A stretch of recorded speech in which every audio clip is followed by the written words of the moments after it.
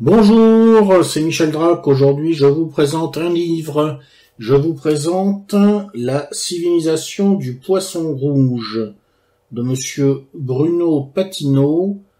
Petit traité sur le marché de l'attention. Je vous avais annoncé cette note de lecture dans le cadre de la dernière revue d'actualité, puisqu'on avait été amené à évoquer cette question au fil de nos travaux.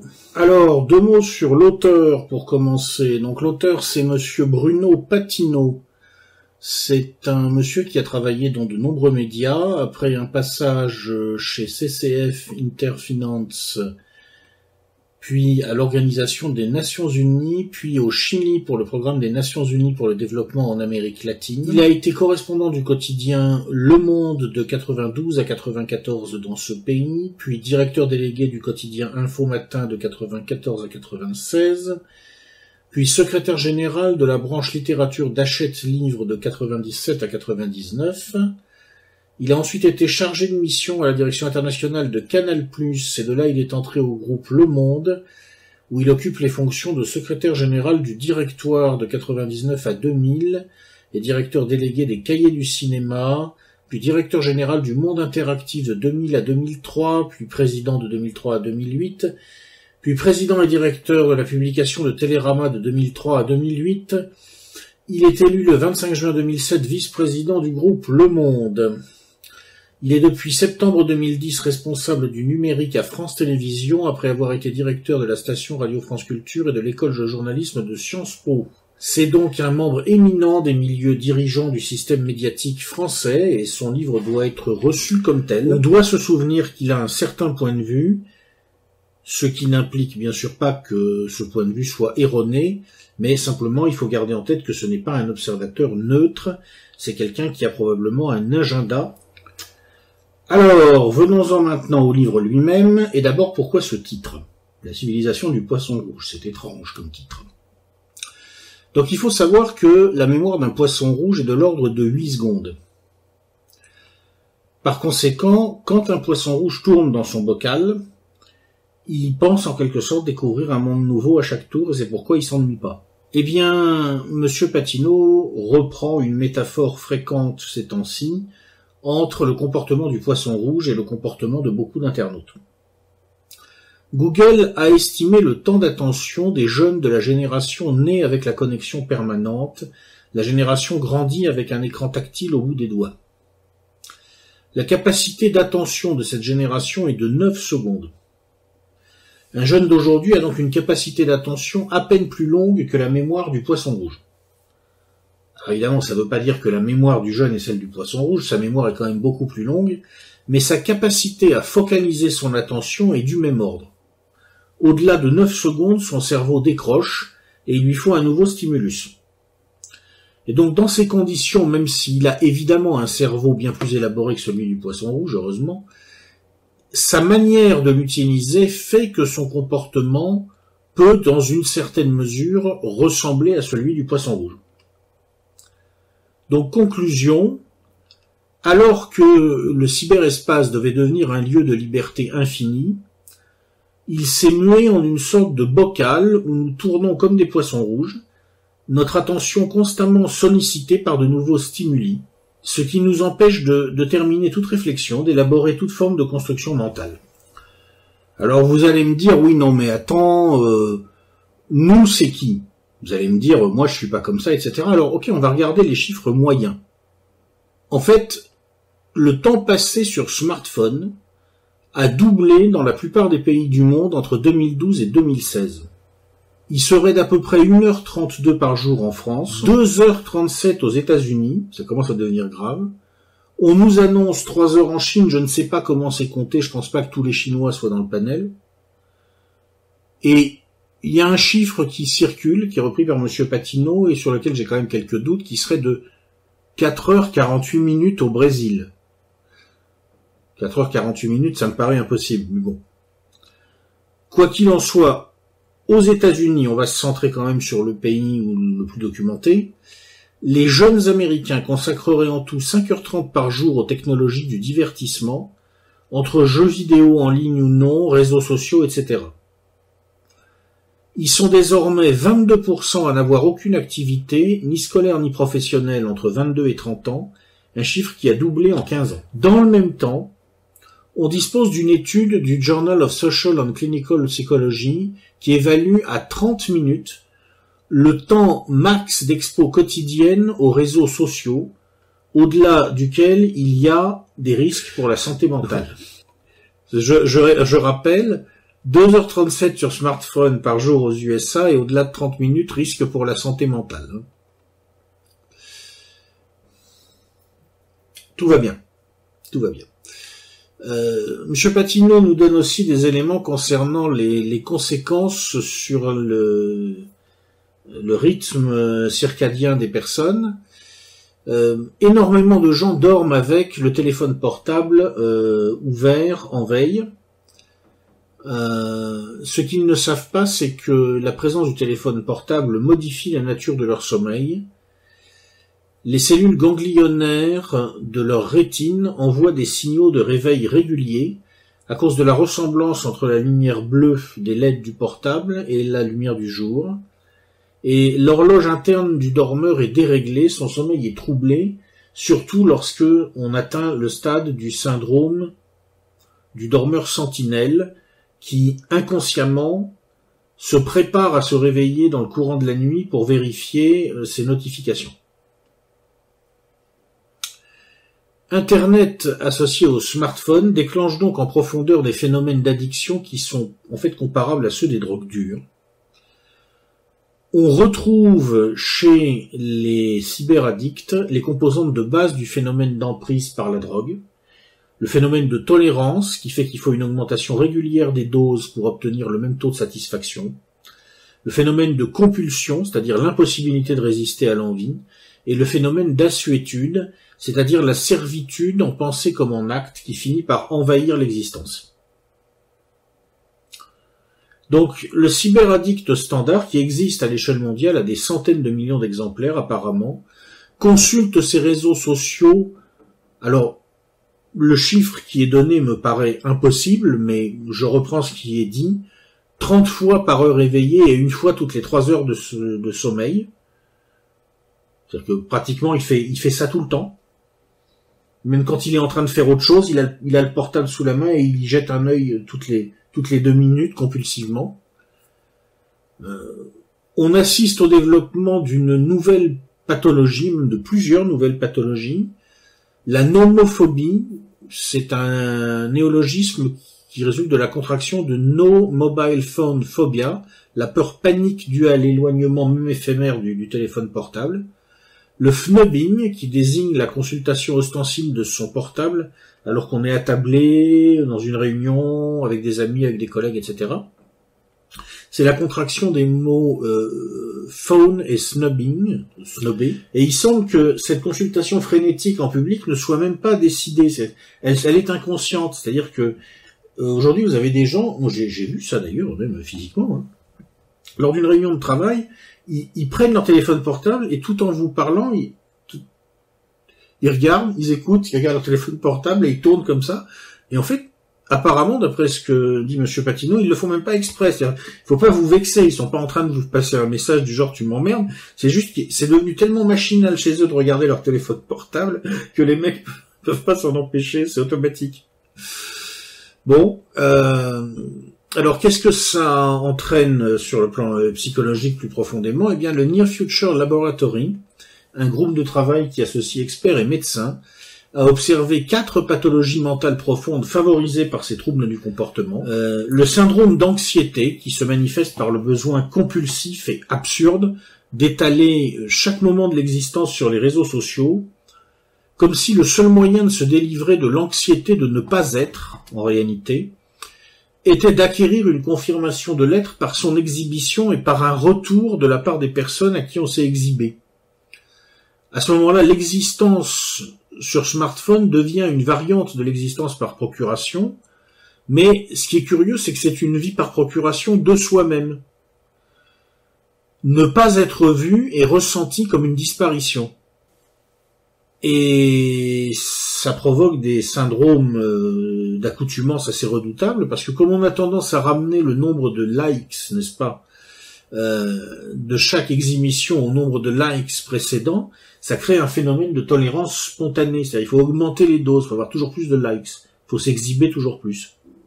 Je ne suis pas un expert en psychiatrie, mais ça ressemble quand même bigrement aux troubles de la personnalité histrionique décrit dans le DSM-5.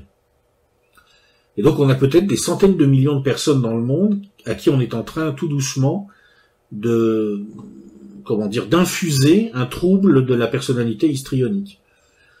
Euh, la schizophrénie de profil touche les personnes qui, en jonglant avec plusieurs identités virtuelles, finissent par ne plus savoir distinguer les identités choisies de leur propre personnalité.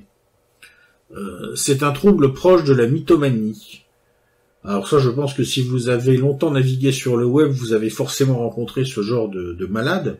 Euh, ensuite, on a l'ataz... Alors, je vais essayer, hein, je vous garantis rien. L'atazagoraphobie, qui est définie par la peur d'être oublié par ses pairs, et qui renforce le syndrome d'anxiété. Apparemment, ça touche beaucoup les adolescents.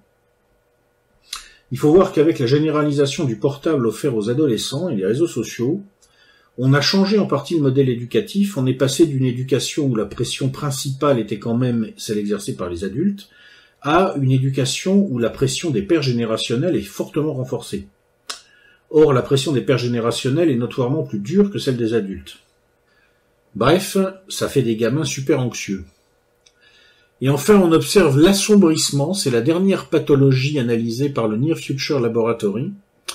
Elle désigne le basculement dans une quête obsessionnelle d'individus qui en un autre sur les réseaux sociaux jusqu'à s'en rendre malade. Alors, là où M. Patino devient vraiment très intéressant, c'est quand, au-delà de ce, ce constat, il fait une analyse. Il se demande comment on en est arrivé là. Et il nous apprend une chose qui est assez intéressante, qui est que on aurait tort de penser qu'on en est venu là en quelque sorte spontanément.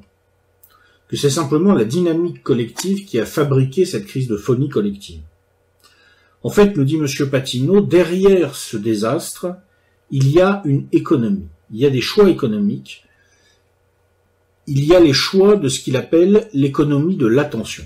C'est le modèle développé par les nouveaux empires de l'Internet qui explique le désastre. D'abord, quelques chiffres pour se rendre compte de la masse hallucinante de temps de cerveau humain capté par les géants d'Internet.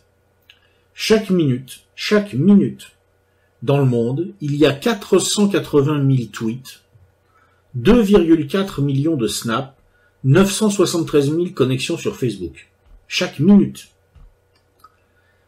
Cette énorme masse de données représente d'abord un capital prodigieux nous offrons littéralement à ces géants de l'Internet un trésor en termes de données utilisateurs. Le temps humain qui est récupéré, le flux de temps humain qui est récupéré est également très profitable. L'alliance des deux, les données utilisateurs qui permettent de cibler la publicité et la masse de temps humain qui offre le temps d'exposer la publicité, tout ça représente une manne financière formidable et par captation, par accumulation, les acteurs qui ont su s'emparer de cette manne ont petit à petit construit une puissance économique considérable. Et c'est un mécanisme auto-amplificateur. Les acteurs qui dépassent la taille critique deviennent structurants, leurs moyens financiers permettent de renforcer leur avance technologique et leur avance technologique renforce leurs moyens financiers.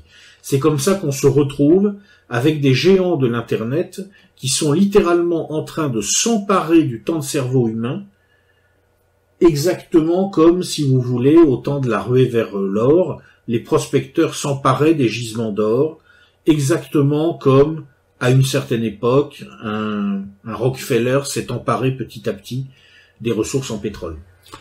La clé qui a permis de s'emparer de cette manne, c'est donc la captation de l'attention de l'utilisateur. Alors il y a un ensemble de techniques qui permettent de faire ça, et Bruno Patino nous les expose de façon relativement détaillée. Et on prend conscience petit à petit que, si vous voulez, c'est un véritable piège qui a été monté et dans lequel une bonne partie de l'humanité est tombée. On peut parler de techniques de mise en esclavage numérique à travers un ensemble de stratégies de manipulation. L'origine, ce sont les sciences du comportement. Elles ont été développées essentiellement euh, à partir des années 30 aux États-Unis, en particulier lorsque l'industrie du jeu a voulu théoriser les méthodes que empiriquement elle avait déjà commencé à déployer. Par exemple, on a fait des expériences sur le comportement des souris en laboratoire, selon qu'on leur offrait des récompenses plus ou moins importantes selon leur comportement. Et on s'est aperçu d'une chose, on s'est aperçu que l'offre d'une récompense aléatoire provoque chez les souris de laboratoire des comportements compulsifs irrationnels. C'est comme ça qu'on a pu détecter la racine neurologique du mécanisme d'addiction au jeu. Lorsqu'une récompense aléatoire est perçue, le cerveau éprouve de la satisfaction. Comme la récompense est aléatoire, la satisfaction est imprévisible, comme la satisfaction est imprévisible, il y a un effet de surprise, et c'est cet effet de surprise qui est recherché parce qu'il maximise la sensation de satisfaction. Pendant des décennies, ce mécanisme a été constaté sans qu'on puisse euh, l'expliquer biologiquement. Depuis une vingtaine d'années, avec la découverte du rôle neurotransmetteur de la dopamine, on a commencé à comprendre un peu mieux comment le cerveau parvient dans certaines conditions à secréter en quelque sorte une drogue autoproduite. La satisfaction surprise stimule le striatum, une partie du cerveau qui produit la dopamine, ça se situe dans notre cerveau primitif. L'addiction aux jeux ou aux réseaux sociaux est en fait une dépendance à la dopamine. Et elle renvoie en profondeur à un phénomène de capitulation du néocortex devant la satisfaction du cerveau primitif. Les géants de l'Internet utilisent sous différentes formes ces techniques mises au point au départ dans l'industrie du jeu. Avec une force supplémentaire, c'est qu'ils peuvent enregistrer en permanence le comportement de leurs utilisateurs et donc ils disposent d'une remarquable capacité à optimiser les espaces virtuels pour coller exactement aux failles cognitives de leurs visiteurs. C'est pour cette raison que des sites comme Twitter ou Facebook ont un côté bric-à-brac où des choses très intéressantes côtoient des éléments parfaitement inutiles et ennuyeux. La percussion permanente du dérisoire et du sérieux, du ridicule et de l'utile produit l'effet d'une machine à sous qui peut vous donner 5 cents ou 100 000 euros. Et la sensation de récompense vient du contraste et même quand vous avez l'impression de réfléchir en profondeur, votre cerveau primitif est stimulé. Euh, Tinder, Twitter ou Facebook pourraient très bien faire ce qu'Amazon fait, par exemple, en sélectionnant des éléments de nature à vous intéresser le plus possible, mais c'est volontairement que ces plateformes ne le font que partiellement. Elles veulent rester imprévisibles. Et c'est un piège. C'est un piège cognitif. Et ça marche. Je connais des gens qui peuvent tourner indéfiniment sur YouTube, d'une vidéo à l'autre, ou qui peuvent tourner indéfiniment sur Facebook, et qui ne le savent pas, mais en réalité, qui sont victimes du piège cognitif dans lequel l'industrie du jeu a fait tomber depuis des décennies des millions de joueurs de machines à sous.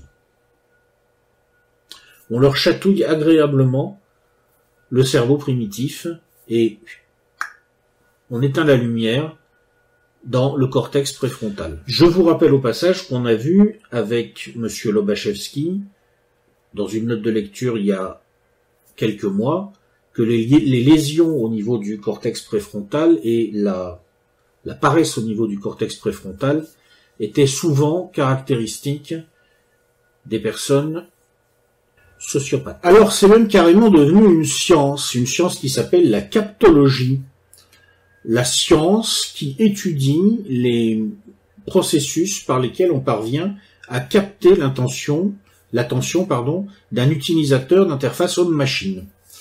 Et il y a une structure qui est dédiée au travail sur cette science, c'est le Persuasive Technology Lab, le laboratoire des technologies de la persuasion de l'université de Stanford, aux États-Unis.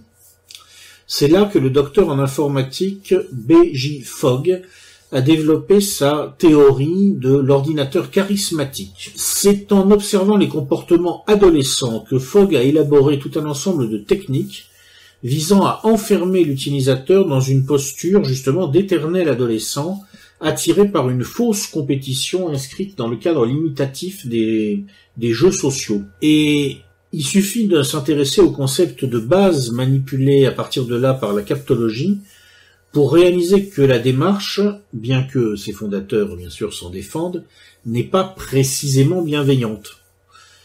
Par exemple, on va découvrir que la conception d'interface créateur de dépendance est appelée le dark design. Ce qui dit bien ce que ça veut dire. Le, le dessin sombre, le design sombre, design dissimulé. Et l'objectif du dark design est explicitement le brain hacking, le piratage de cerveau. Et c'est ainsi que l'exploitation des neurosciences a permis d'optimiser un ensemble de techniques prenant appui sur les biais cognitifs humains pour créer des interfaces homme-machine piégeants, des, des interfaces homme-machine qui vont pirater le cerveau de leurs utilisateurs. Alors quelques exemples. Eh bien, on peut commencer par parler de l'effet Zeigarnik, ou Zeigarnik selon vous le prononcez en, français ou en allemand, euh, du nom de la psychologue russe qui l'a conceptualisé. Le principe est le suivant. Vous proposez un ensemble d'actions devant être enchaînées sans pause, de façon à créer de l'incomplétude jusqu'à ce que toutes les actions soient enchaînées. De cette façon, vous différez la satisfaction jusqu'à la fin de la séquence de sorte que le sujet perd son libre arbitre jusqu'à l'obtention de la satisfaction finale. Alors cet effet euh, Zeigarnik ou Zeigarnik, dites-le comme vous voudrez, est par exemple à l'origine de la construction des séries Netflix. Les arches narratives développées dans ces séries sont conçues pour différer la satisfaction juste assez pour créer l'effet de. Alors le résultat, mais en fait c'est une négation de la démarche artistique proprement dite, c'est-à-dire qu'une série artistiquement nulle, mais créatrice de frustration pour qui ne l'a pas vue entièrement, est plus rentable qu'une série brillante, mais moins créatrice de frustration. Donc quand vous commencez à regarder une série et que vous pouvez plus vous en sortir, parce que vous avez envie de connaître la suite et que la suite, on vous fait patienter, on vous fait attendre, et plus on vous fait attendre, plus vous espérez la satisfaction quand vous aurez les réponses aux questions que vous vous posez, ben en fait vous êtes tombé dans un piège cognitif. On est en train de vous voler votre temps. L'effet de prise en charge de la fatigue décisionnelle est exploité à chaque fois qu'un site est conçu pour décider à votre place. Là encore, Netflix utilise les enseignements de la psychologie comportementale avec sa fonction autoplay qui permet d'enchaîner les épisodes sans avoir à faire un geste ou exprimer une volonté. YouTube le fait aussi. Le sujet devient rapidement dépendant d'un environnement qui le soulage de la fatigue liée à la prise de décision. Alors historiquement, petite remarque personnelle, on peut remarquer que euh, le dressage militaire a de toute évidence exploité depuis toujours cet euh, effet de prise en charge de la fatigue décisionnelle, c'est-à-dire que euh, je me souviens très bien de mes classes, il y a une trentaine d'années, ce, mois de lavage de cerveau que la République française offrait aux individus de sexe masculin nés avant 1978. Et je peux vous dire que l'effet de prise en charge de la fatigue décisionnelle, ça fonctionne très bien. Au bout de 15 jours où vous avez complètement perdu l'habitude de réfléchir, ça devient une deuxième nature, mais très très vite. Et eh ben en fait, d'une certaine façon, sur Netflix ou YouTube, vous subissez une forme de lavage de cerveau, un peu comme les classes du bon vieux temps.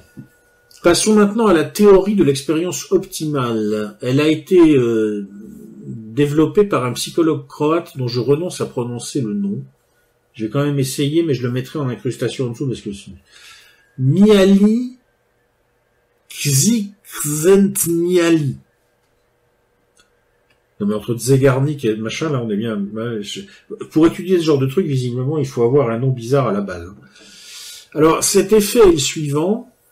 L'expérience optimale ressentie par un individu désireux de s'extraire de son environnement correspond à un exercice juste assez difficile pour donner l'impression de l'effort, tout en étant suffisamment facile pour n'exiger en réalité qu'une concentration extrêmement faible.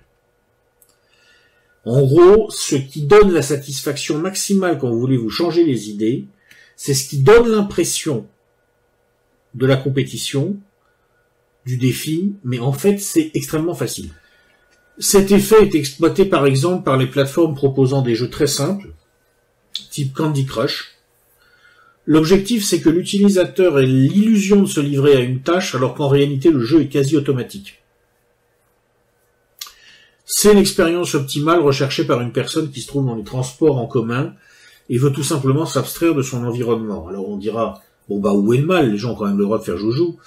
Ouais, mais tout le temps qu'il passe sur Candy Crush, il ne le passe pas à lire, par exemple. Alors une fois qu'il a fait le tour de ces techniques de captologie qui sont les méthodes déployées dans le cadre de l'économie de l'attention par les, géants de l'Internet, Bruno Patino tire la sonnette d'alarme. Il dit en gros, attention, on est en train de provoquer une catastrophe. Alors il cite trois trois aspects principaux à cette catastrophe. Premier aspect, c'est ce qui se passe chez les plus jeunes. Chez les adolescents, le caractère addictif des réseaux sociaux peut entraîner des situations de servitude numérique volontaire dont les victimes sont généralement conscientes mais incapables de sortir. L'adolescent pris dans ce piège nourrit littéralement à longueur de journée la bête formée par ses amis sur Instagram ou Facebook. En fait, ce qui se passe, si vous voulez, c'est que plus vous tapez jeune sur un cerveau, plus il est vulnérable. La capacité à effectuer un choix raisonné n'est pas complètement formée chez les enfants, et elle est encore en cours de formation chez les adolescents très souvent. La tentation immédiate est souvent trop forte. Il faut comprendre qu'à chaque fois que nous effectuons un choix qui repose sur la décision de différer une satisfaction, il y a un conflit entre le cortex orbifrontal, qui est le siège du calcul à long terme, et le striatum, le siège de la satisfaction instantanée. Si pendant l'enfance les sollicitations sont trop nombreuses, le sujet abandonne la lutte et il prend l'habitude de céder au plaisir immédiat. Ce qui pose quand même le petit problème de savoir si avec ces histoires de captologie, nous n'avons pas fabriqué une génération entière de sociopathes en puissance. Deuxième effet euh, qui se coule, si j'ose dire, hein, qui fait très mal, c'est l'effondrement de l'information. Pour Bruno Patino, qui, on le rappelle, est quelqu'un qui évolue dans les milieux du journalisme et de la grande presse. La pire conséquence du modèle économique des géants du net, c'est littéralement la fin de l'information en tant que telle. Le phénomène des infox est a d'ailleurs à ce niveau une réalité indéniable, mais, nous dit M. Patineau, en fait, ça n'est qu'une manifestation annexe d'un phénomène général bien plus grave, la production d'un immense récit numérique, ou plutôt d'une collision, d'un chaos de récits numériques au pluriel, qui ne se préoccupe pratiquement plus du tout d'exactitude. Sur Internet, ce qui assure la diffusion d'une nouvelle, c'est pas du tout son exactitude, c'est l'impact qu'elle a sur les esprits. Or, d'une manière générale, les nouvelles fausses, les récits outranciers, bref, tout ce qui choque, parce que ça colle pas avec la logique, eh bien, ça a plus d'impact que les nouvelles vraies et les récits pondérés. Conclusion, contrairement à la croyance des fondateurs d'Internet, dans un espace de totale liberté, le mensonge chasse la vérité, et non l'inverse. Plus profondément, c'est la logique même de la recherche d'informations qui a été arasée. Patino nous explique ce qu'on appelle le Rashomon Effect, nommé d'après un film d'Akira Kurosawa qui, soit dit en passant, est un chef-d'œuvre. Je vous conseille de le regarder si vous ne l'avez jamais vu, Rashomon d'Akira Kurosawa. Je vais pas rentrer dans les détails, disons simplement que ce que montre le film de Kurosawa, c'est que lorsqu'on accumule les récits de divers narrateurs parlant depuis divers points de vue, on aboutit à une situation où il n'existe plus de récit unique possible. Dès lors, les auditeurs n'ont plus que deux solutions. Ou s'accrocher à un récit, sans doute parce que c'est le plus proche de leur point de vue, ou bien admettre qu'en quelque sorte la vérité n'existe pas. Or, dans un monde où la vérité n'existe pas, il n'est plus question de la rechercher. Alors Kurosawa, à la fin de Rashomon, dit quand même comment on peut trouver la vérité, même dans ce monde-là. Je ne vais pas vous expliquer quelle est la réponse, je vous invite simplement à regarder Rashomon d'Akira Kurosawa. Mais, malheureusement, sur Internet, c'est pas comme dans le film de Kurosawa, on a vraiment perdu de vue qu'il était nécessaire de chercher la vérité. Et donc on la cherche plus. Alors, comment on en est arrivé là? À partir de la captologie Eh bien, nous dit Monsieur Patino, il y a trois biais cognitifs qui expliquent ce phénomène. Le premier biais, c'est le biais de confirmation. On croit qu'une chose est vraie quand beaucoup de sources la reprennent. Mais si les sources ne font que reprendre quelque chose qui a fait le buzz, ça n'est pas une vraie confirmation, c'est une illusion de confirmation. Le biais de représentativité qui fait que les moteurs de recherche vont mettre en avant des exemples confirmant implicitement une vérité que l'on croit à tort universelle, contribue à renforcer le biais de confirmation. Et enfin, le biais de simple exposition repose sur le constat suivant, plus vous entendez une nouvelle, plus vous vous familiarisez avec sa possibilité, plus vous la croyez facilement. On remarquera au passage que tous ces biais nous ramènent à une autre de lecture que j'ai faite il y a euh, quelques mois, Système 1, Système 2 de Daniel Kahneman, je mettrai le lien en description. Quand vous combinez ces, ces biais cognitifs avec l'effet spontané de la captologie qui happe les gens à l'intérieur du bocal Internet où ils tournent sans confrontation au réel, effectivement, vous obtenez la destruction du processus d'information. Alors ça concerne qui? Ça concerne pas forcément tout le monde. Monsieur Patino nous rappelle ce qu'est l'effet Dunning-Kruger. L'effet Dunning-Kruger, c'est un effet découvert par, là encore, des psychologues, qui ont fait un lien entre le degré d'ignorance d'un individu et son niveau de confiance en soi. Donc en fait, en gros, qu'est-ce qui se passe en général? Quand vous commencez à avoir entendu parler de quelque chose, vous avez une très grande confiance en vous sur cette chose, parce que vous êtes incompétent, mais vous n'avez pas les compétences qui vous permettraient de vous rendre compte de votre incompétence. En fait, vous êtes un idiot complet, mais vous êtes persuadé d'être super intelligent.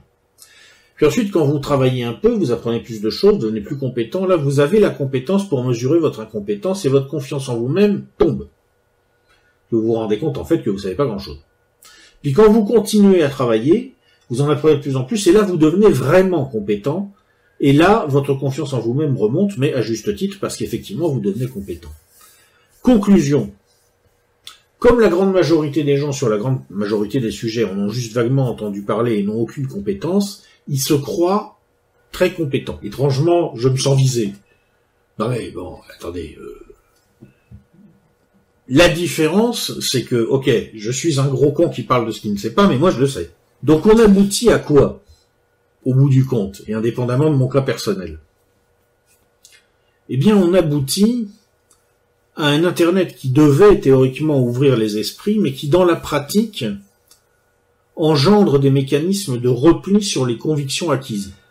La plupart des sites propose soit des éléments déjà choisis par les visiteurs présentant des similarités, soit l'association de contenus proches, soit des éléments reproduisant le comportement passé de l'utilisateur, soit des éléments très populaires. Ce qui fait qu'en fin de compte, le visiteur est poussé à s'imiter lui-même, ou alors à rentrer dans un modèle conformiste. Mais pour qu'il soit orienté vers quelque chose de nouveau et d'original, il faut vraiment qu'il soit passé quelque chose d'anormal dans le fonctionnement des outils captologiques. Donc on aboutit en fait à un phénomène assez curieux qu'on pourrait qualifier d'auto-endoctrinement. Enfermé dans sa bulle d'information auto-cautionnée, l'internaute est spontanément entraîné dans une démarche de surévaluation croissante, exponentielle de sa compétence sur les sujets qu'il aborde. Alors, Monsieur Patino cite là en particulier la plateforme sur laquelle vous regardez probablement cette vidéo, YouTube. Cette plateforme possède un algorithme qui suggérerait, semble-t-il, à chaque étape de visionnage, une version un peu plus intense de l'expérience précédente. Ce qui, dit Monsieur Patino, débouche euh, dans le domaine politique sur la radicalisation en douce des utilisateurs. C'est logique, c'est-à-dire que puisque l'addiction entraîne la tolérance, il faut augmenter les doses, voyez. Donc vous commencez par le juif Drac qui explique qu'il faut être souverainiste et pas raciste. Comme il y a le mot-clé raciste, ensuite vous vous retrouvez chez Conversano. Comme vous êtes chez Conversano, ensuite vous glissez chez le lait. Et à la fin, vous terminez avec une crampe du bras droit. Enfin, on a tous fait l'expérience, hein, on sait que c'est vrai, on sait que, mais oui, non, mais on sait que c'est vrai. Ne mens pas, c'est vrai, c'est vrai. Quand vous combinez encore maintenant ce mécanisme d'auto-endoctrinement à la suite de biais cognitifs entretenus par les outils captologiques avec les intérêts économiques des acteurs qui, vivent tout simplement de la captation du temps de cerveau humain, vous, vous rajoutez encore une étape de plus dans le mécanisme de destruction de la vérité, en fait. Certains acteurs, me dit M. Patino, se sont carrément fait une spécialité de faire le buzz en remettant en cause les vérités établies. Il cite des agents de désinformation politique, les annonceurs sombres qui cherchent à discréditer la concurrence commerciale ou à tromper le consommateur, les complotistes et autres illuminés. Alors, je sais déjà que je vais avoir droit dans les fils, dans le fil de discussion de la part des trolls à des hurlements. Non, non, les gars. Je n'ai jamais, que ce soit bien clair, je n'ai jamais dit que sous prétexte que l'accusation de complotisme était instrumentalisée par Rudi Reichstadt pour criminaliser ses adversaires politiques, il n'y avait pas de problème avec le complotisme. Si vous en êtes au point où vous croyez qu'à chaque fois qu'il se passe quelque chose, c'est forcément parce qu'il y a un complot derrière, je suis désolé, vous avez un biais cognitif, d'accord? Donc maintenant vous pouvez m'engueuler dans les commentaires, j'en ai rien à foutre. Bref, donc les complotistes et autres illuminés, et enfin, cerise sur le gâteau, les robots qui entretiennent spontanément la dynamique parce que en adoptant une identité d'utilisateur, ils faussent constamment les conversations. Donc Internet, c'est pas du tout quelque chose, c'est pas du tout une agora où on va voir s'épanouir le verbe, c'est une arène où il y a énormément de bruit qui fait qu'on peut plus parler. Et donc, on en arrive au troisième effet qui se coule dramatique dénoncé par Monsieur Patino. Après la servitude numérique, en particulier des jeunes, après l'effondrement de l'information, nous avons un empire du faux qui se transforme en machine à disloquer les sociétés. Les pathologies incubées sur le réseau ne vont pas y rester. Elles ont vocation à contaminer la vie réelle. Jadis, nous dit M. Patino, l'homme de presse, les journaux fabriquaient un récit unificateur de la société. Tout le monde n'était pas forcément d'accord sur l'interprétation des faits, mais au moins comme les journaux racontaient à peu près la même réalité de départ, tout le monde était à peu près d'accord sur les faits en eux-mêmes, ou au pire sur les zones de doute existant concernant les faits. Comme il n'y a plus de récit partagé, il n'y a plus de discussion possible sur l'interprétation. On ne peut pas se parler d'une chose quand on ne parle pas de la même chose. Et donc la société est maintenant euh, déchirée par de véritables guerres narratives, des guerres entre narrations. La presse est incapable de lutter contre cette dérive, elle est constamment débordée, elle n'impose ni son tempo, ni sa tonalité. Son expertise n'est plus reconnue, sinon comme une forme pernicieuse de domination. Elle a perdu la maîtrise de l'esprit public qu'elle conservait jadis grâce à deux instruments, nous dit Bueno Patino, le gatekeeping, c'est-à-dire la maîtrise de l'accès à l'information, et l'agenda setting, c'est-à-dire la définition des sujets à l'ordre du jour. La presse n'a plus la maîtrise de l'accès à l'information, et l'Internet parle de ce qu'il veut, il n'en a absolument rien à faire des sujets mis en avant par la presse. Et donc, nous dit M. Patino, eh bien c'est grave. C'est son point de vue d'homme de presse. Après, on réfléchira à la pertinence de ce point de vue. Pour l'instant, on en prend note simplement. Et pourtant, au départ, Internet était une utopie.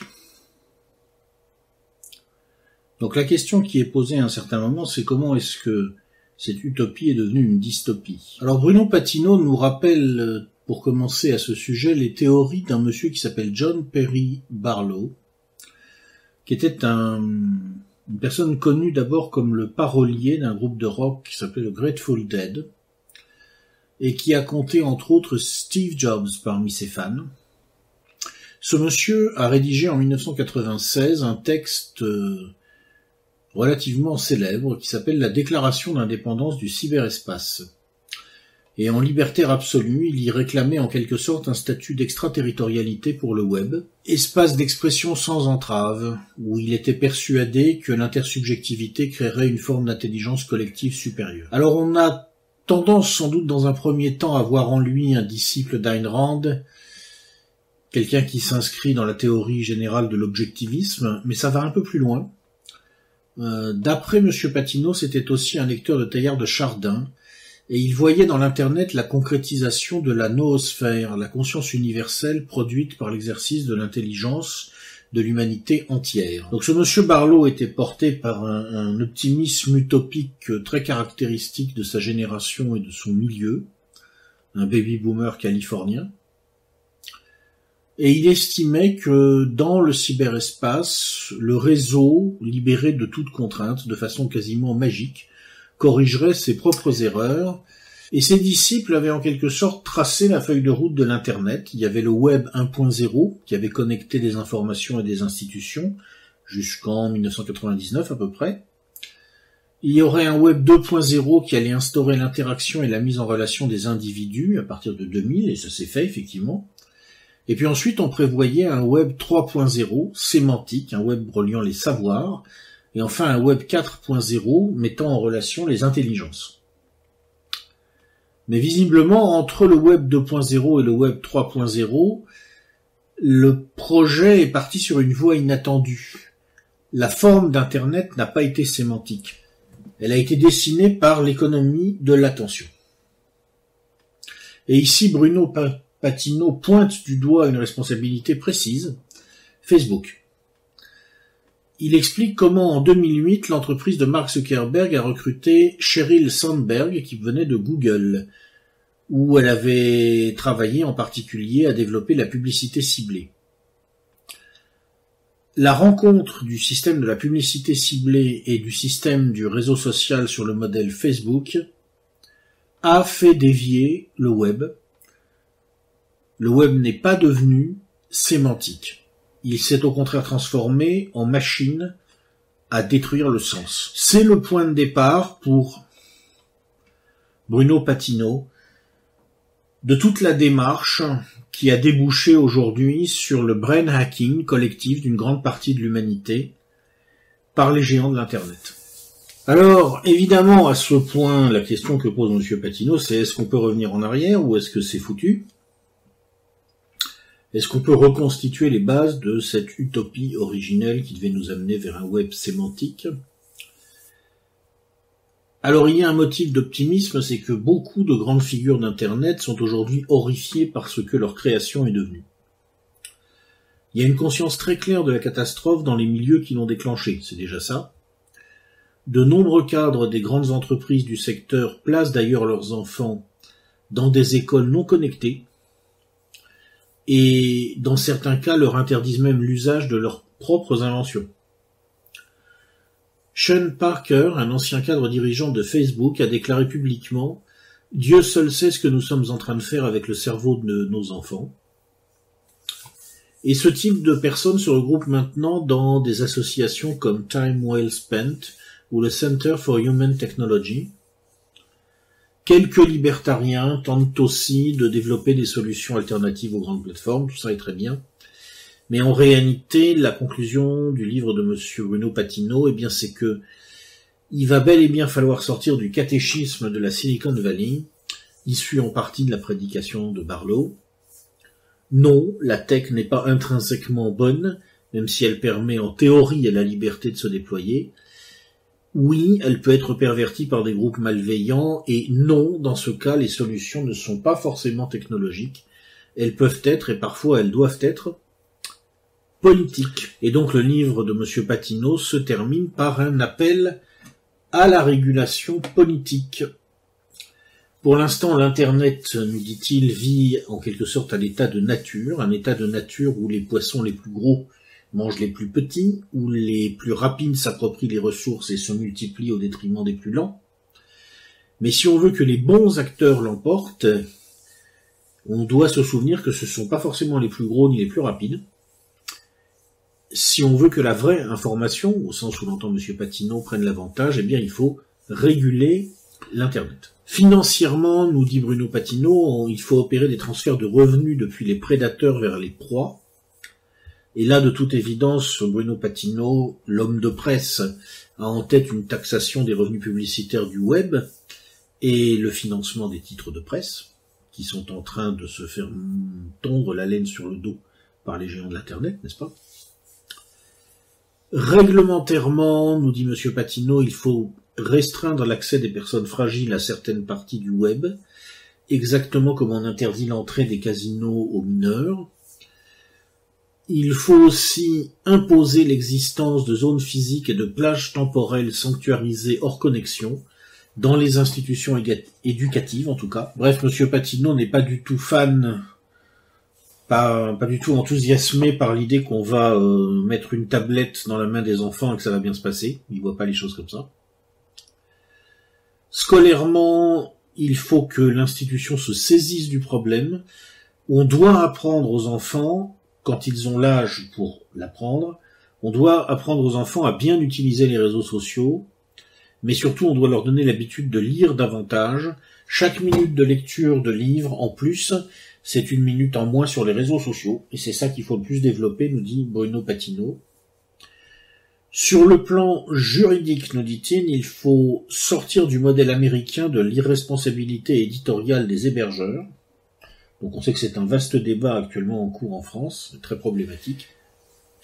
Et enfin, techniquement, mais avec un appui réglementaire, il faut exiger la transparence des algorithmes et proscrire le dark design, ce qui, à mon avis, ne doit pas être très facile sur le plan technique. Dans ce cadre, il faut essayer au maximum de développer des offres numériques qui ne répondent pas à l'économie de l'attention en encourageant la production d'algorithmes favorisant la découverte et l'émancipation. Voilà le petit programme de Bruno Patino. Alors qu'est-ce que j'en pense? Moi-même personnellement tout seul. Bon, j'en pense d'abord qu'il y a dans le propos de Monsieur Patino quelques biais assez évidents. Pour commencer, il faut savoir que l'étude de Google sur l'attention span est contestée. L'idée que plus on serait jeune actuellement et moins on serait capable de focus repose sur des mesures qui ignoreraient que les jeunes ont plus de capacité au multitâche et se montrent plus sélectifs sur les contenus. C'est-à-dire que ce n'est pas tellement, d'après certains, que les jeunes euh, concentreraient moins leur attention, c'est qu'ils ont plus de capacité à passer d'un sujet à l'autre, mais au final, ils arrivent à reconstituer, en étant multitâche en quelque sorte, une continuité de l'attention. Là, c'est un débat d'experts, je mentionne simplement l'incertitude. Ensuite, évidemment, le plus gros biais de, de l'étude de Bruno Patino, c'est quand il parle de la presse où on voit très bien que bah il est, il est de parti pris. Euh, il s'étonne du fait que la parole euh, institutionnelle soit euh, décrédibilisée. Et il impute ça à l'action d'Internet. On a envie de lui dire, Monsieur Patino, déjà si en 2003, un certain Colin Powell n'était pas allé faire le con à l'ONU comme il l'a fait, un certain Tony Blair n'avait pas raconté des conneries plus grosses que lui pour justifier une guerre impérialiste. Si en 2011, les médias n'avaient pas complaisamment relayé les conneries de Bernard-Henri Lévy, dont on sait aujourd'hui qu'il nous a raconté n'importe quoi sur la Libye, Aujourd'hui, peut-être que la parole institutionnelle, et en particulier la parole institutionnelle véhiculée par les grands médias, ne serait pas décrédibilisée à ce point-là. C'est-à-dire que, certes, Internet permet de mesurer l'ampleur du discrédit. Mais est-ce que vraiment le discrédit ne serait pas là s'il n'y avait pas Internet? Est-ce que le problème aussi, c'est pas la façon dont les dirigeants ont utilisé le crédit dont ils disposaient au départ? Ben, Tout simplement, ils l'ont flambé, leur crédit, ils l'ont plus. Et est-ce que c'est forcément une mauvaise chose? Alors c'est vrai que c'est sûr, ça rend nos sociétés plus difficiles à gouverner, on est d'accord. Mais c'est pas forcément une mauvaise chose dans l'absolu. Je veux dire, je rappelle quand même que en 1939, quand Hitler a annoncé aux Allemands la guerre contre la Pologne, il a prétendu que c'était une réponse. Il a dit les Polonais ont attaqué notre sol et nous répondons. Et on sait aujourd'hui qu'il avait chargé euh, une équipe spéciale de SS de monter une attaque bidon, une attaque sous faux drapeau. Est-ce qu'il aurait pu faire ça s'il y avait eu Internet? C'est pas sûr. Donc est-ce que c'est vraiment embêtant qu'Internet introduise le doute dans l'esprit des gens? Je pense que si Internet avait introduit le doute dans l'esprit des soviétiques en 1932 ou des Allemands en 1939, on s'en serait pas plus mal porté. Hein. Petite remarque en passant. Ensuite, bah, Monsieur Patino s'étonne du fait qu'on accuse les journalistes de représenter un point de vue spécifique et différent de celui d'une bonne partie de la population. On a envie de lui dire, Monsieur Patino, on a des sondages sur ce que votent les journalistes. Alors, nul ne peut leur reprocher de voter ce qu'ils votent. Les journalistes ont parfaitement le droit de voter à gauche, entre guillemets, à 80-90%. Une partie, en gros, pour la gauche Mélenchon et une partie, en gros, pour la gauche qui a convergé vers Macron, finalement. Euh, si on peut encore appeler ça la gauche, d'ailleurs, enfin, on va pas rentrer dans les détails. Ils ont le droit, il n'y a pas de problème. Simplement, il faut pas s'étonner que les mecs qui sont, genre, moi, des électeurs de Marine Le Pen ne se sentent pas représentés dans les grands médias. Parce qu'on sait très bien, par les sondages, que très peu de journalistes dans les grands médias votent Marine Le Pen. Très peu. Et y compris dans des médias qui se présentent pas du tout comme des médias d'opinion, mais comme des médias d'information supposément neutres. Donc, je dis pas que les journalistes le font forcément exprès, probablement eux-mêmes ne s'en rendent pas compte. Mais Monsieur Patino, je vous garantis que pour un électeur RN, ou proche, disons, du, du, RN, ça saute aux yeux qu'il n'est pas représenté dans ce monde-là, que son point de vue n'est pas pris en compte. Donc il faut pas s'étonner qu'à partir de là, le gatekeeping soit vécu comme une censure déguisée. En tout cas, il y a un soupçon. Euh, je veux dire, quand vous vivez à l'époque où il se passe quelque chose comme la catastrophe euh, de Rotterdam, n'est-ce pas, le, drame là de, ces de ces jeunes anglaises qui ont été violées systématiquement par un réseau de, prédateurs sexuels et qui s'avère de toute évidence que l'affaire a été étouffée par la presse, entre autres parce que les journalistes ont eu peur de se faire traiter de racistes. Il faut pas s'étonner si ensuite, sur toutes les questions relatives aux relations interethniques, la presse est considérée comme non fiable. C'est normal. C'est logique. Et euh, Internet, en l'occurrence, n'y est pour rien. Et ça, c'est une chose que Bruno Patino, semble-t-il, ne voit pas, ou qu'il choisit de ne pas voir. Donc, en synthèse, euh, bon, euh, ce qui rend le travail de, Bruno Patino très intéressant, c'est qu'il sait de quoi il parle. Il a fréquenté des milieux dirigeants à haut niveau dans ce monde des géants de l'Internet. Il a de bonnes raisons en tant qu'homme de presse aujourd'hui, de les dénoncer et de dénoncer leur magouille. Donc c'est toujours intéressant quand on a un pouvoir qui est en conflit avec un autre pouvoir, parce que ça permet, n'est-ce pas, de suivre les débats et d'apprendre plein de choses.